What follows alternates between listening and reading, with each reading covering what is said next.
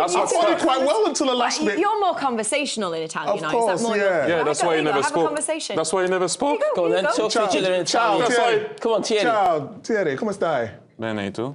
Tut- tutto a posto, grazie mille. E? Che más? Oh, niente. You, you never realized I spoke in Spanish? ¿Qué más?